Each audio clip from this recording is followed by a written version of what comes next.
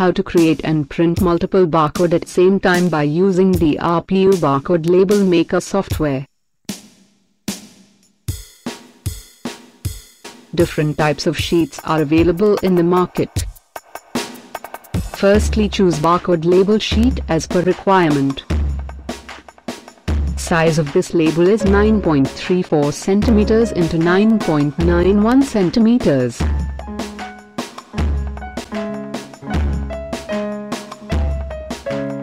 Now design barcode label according to your requirement.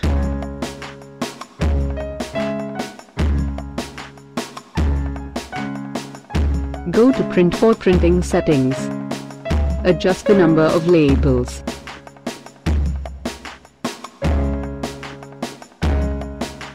Click on print button.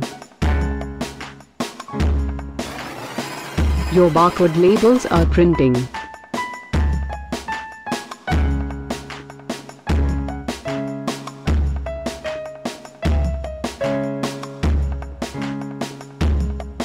Similarly you can print multiple barcode labels on multiple sheets.